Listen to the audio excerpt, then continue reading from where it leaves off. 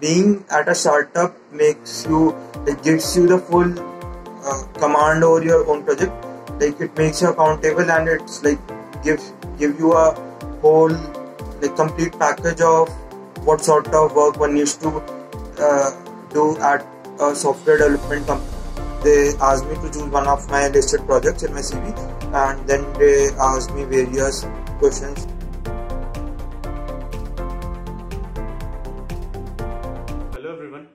IC2C's podcast series. Today we have Mr. Hardik Agrawal as our guest. He is a fourth year undergraduate of computer science and engineering at IIT Kharagpur and he has bagged an internship opportunities at Microsoft and Sprinklr. So hi Hardik, how are you? yeah i'm doing great and thank you thank you for inviting me to IC2C podcast series Yeah. Uh, so Hardik, can you tell us a little bit more about yourself? yeah apart from what you have told like i am uh, i'm bit into research and my most of my research areas lies in algorithms complex networks information retrieval and a bit of software development apart from academics i also do competitive programming in my leisure time i have two research papers uh, namely in jcdl 2020 and ECIR 2021 and apart from this i'm also a part of Kharagpur Obasaka Students Group. Yeah, so that was it. So guys this is our another video in series of internship हमारी Adobe पे Google पे और Barclays पे already video आ चुकी है। ऊपर आई button पे मिल जाएगी। And in this video we are going to discuss about what was his interview experience of Sprinklr and what was the experience of his online coding rounds and why did he prefer Sprinklr over Microsoft and finally we will discuss his experience of Microsoft interview so moving forward Hardik what was the process of your interview at Sprinklr can you please tell us Okay, so like there were four rounds in total. One was an online coding round that was for shortlisting, uh, and they selected around 10 to 15 people for the uh, online interviews. And there were three interview rounds. First two were normal DSA and algorithm based, uh, and a bit of concept of some concept of oops were also asked.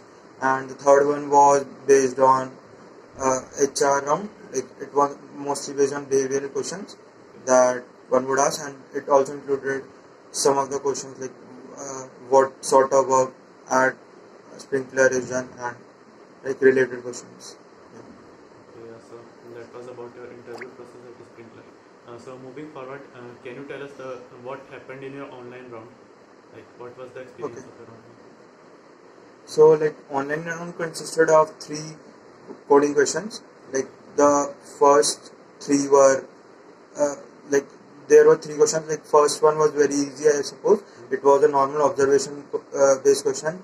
Uh, there was a game uh, given, and one needed to find out like for what given values uh, like player A or player B would win. So th- that was based on observation, I would guess, and it was simple one or two liner question.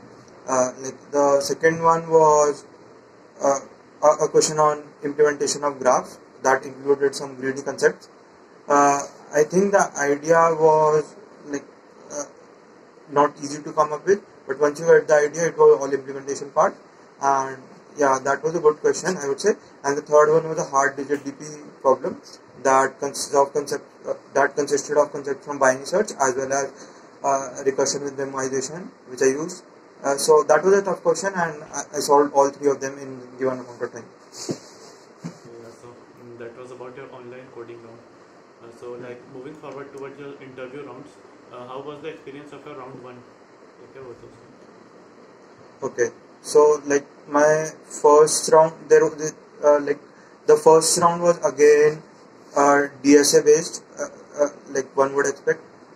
That consists of uh, questions from various domains of data structures and algorithms, like graphs, binary search trees, and so on. So like there were three questions that I was asked. Like first one was a question on strings. Uh, and that basically transformed into a question of graphs and one was asked to uh, like find out a valid topological order if it exists in the graph so like that can be done using standard uh, graph algorithms uh, th- the second one was like implementation of bst to support the rank of a number like apart from the normal uh, insert delete operations that we have uh, like i needed to support one more operation that i did using some normal modifications and the third one was just an extension of the second question where I was given an infinite string of numbers and I was asked uh, like what uh, like I was asked to get the rank of any number at any instant of the uh, time. So yeah, that was all about the, my first round experience. Okay, so uh, moving forward your second round, uh, how was the experience of your round two? Okay, so the second round was again uh, based on data structures and algorithms, and it also consists of a problem on OOPS. Uh, so the first question was like I was I was given a list of persons and their heights and the number of people ahead of them for each person uh, if they are given like standing in a queue. So one person can see all the persons whose height is greater than his or her height and they lie in front of him. So I was asked to find one of the valid order. Like after some brainstorming, I was able to reduce this question uh, to like insertion in a sorted list where like it can be done using uh, like BST or some variant and then they asked me to implement uh, hash maps of C++ uh, hash maps of C++ they, they asked me to implement both ways uh, using hashing as well as tree based uh, approach that uh, so the tree based one they asked me to implement using a sort uh, a self balancing uh, BST so I chose to implement AVL trees and not arbitrary. So that was the second question. And the third one was a concept of was based on a concept of OOPS, where I was asked to maintain a, a data structure and a class that supports the uh, the, the, storage of central intervals. And I so as a part of this problem I was asked to also implement the interval tree. So yeah that was the experience of my second round yeah, so uh, moving forward uh, how was the experience of your round 3 okay so the third round was an HR round, to be very precise, uh, where like a company executive was there was a one-to-one interaction with a company executive. So in that, like uh, uh, they firstly asked me about my experience of the uh, interview rounds and coding rounds, and then there was some brief discussion on uh, like what sort of com- what sort of work is uh, done at Sprinklr, why I want to join this company uh, why will I prefer this over other companies? And like what are the research prospects versus job prospects that I will like to take up later in my career. So yeah, that was very healthy discussion. And also like there was some discussion on uh, like general questions that one would expect in an HR interview like strengths, weaknesses and uh, why Sprinklr over other companies. And yeah that was mostly my discussion in the third round.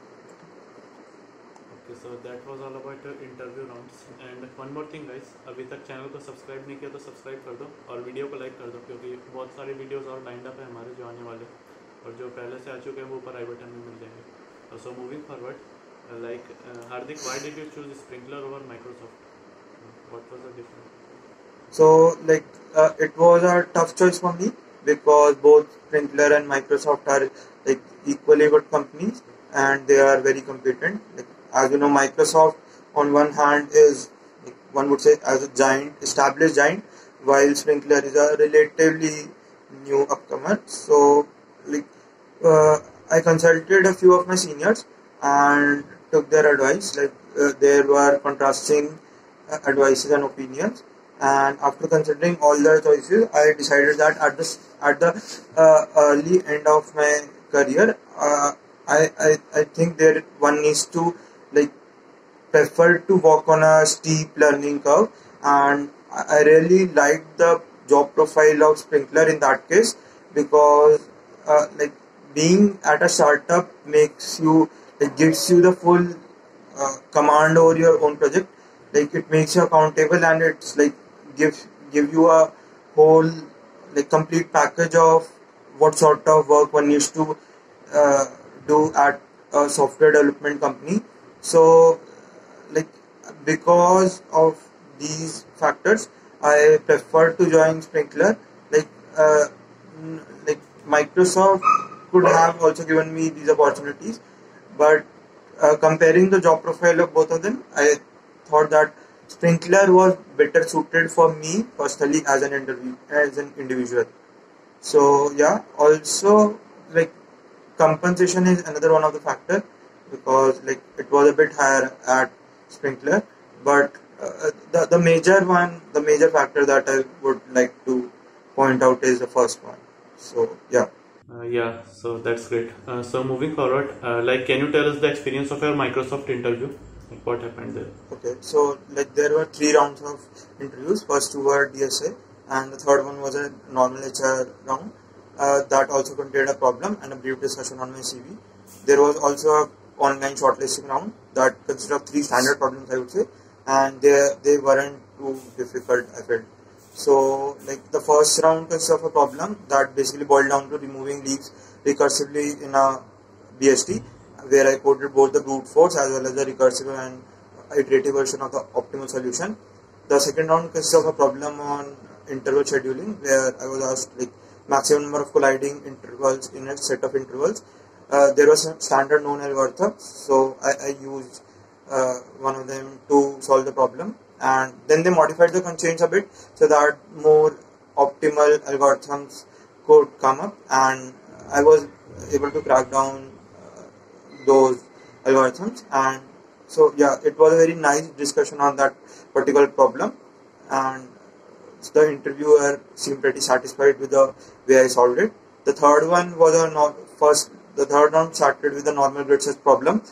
And then it followed it followed by a discussion on my CV where they asked me to choose one of my listed projects in my CV and then they asked me various questions pertaining to that particular project like what tech stack I use and what's what problems I faced and what are, what were the most uh, the commendable learnings I got from the project and so on. So overall, I would say the interview process of Microsoft was very smooth, and I was able to communicate my ideas very well.